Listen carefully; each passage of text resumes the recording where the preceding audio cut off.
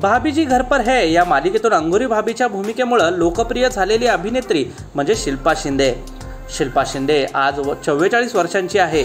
परंतु वयाच्या चव्वेचाळीसाव्या वर्षी सुद्धा शिल्पाने अजून लग्न केलं नाहीये. ती अविवाहित आहे. एका वेब पोर्टलला दिलेल्या मुलाखतीत लग्न न करण्याच्या निर्णयाबाबत शिल्पा म्हणाली की ती रिलेशनशिपमध्ये राहणं पसंत करत नाही. ती तिच्या आयुष्यात एक सोबती म्हणून कोणत्याही व्यक्तीकडे पाहत नाही. असं सांगता येणार नाही की शिल्पाने लग्नाचा चान्स कधी घेतलाच नाही.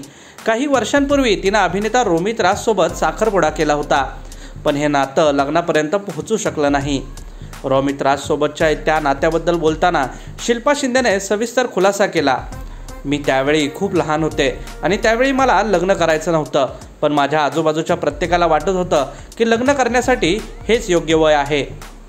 पुढे रोमित आणि माझा साखरपुडा झाला. परंतु हे नातं फार काळ टिकू शकलं नाही. माझा साखरपुडा मोडल्यानंतर मी दुसरं नातं जोडलं पण तो खूप वाईट अनुभव होता. याशिवाय शिल्पा पुढे म्हणते त्या वाईट अनुभवानंतर मी माझ्या कानाला खडा लावला आणि विचार केला की आता मी रिलेशनशिपपासून दूर राहीन. मला हे उमगलं आहे की मी अविवाहित राहून आनंदी आहे. रिलेशनशिपबद्दल बोलताना शिल्पा म्हणाली आज मला बरीच नाती तुटताना दिसत आहेत. मला समजत नाही की दहा वर्ष चाललेलं नातं का चालत नाही. एकंदर आलेल्या वाईट अनुभवांमुळं शिल्पानं आजन्म अविवाहित राहून लग्न न करण्याचा निर्णय घेतलेला दिसतोय.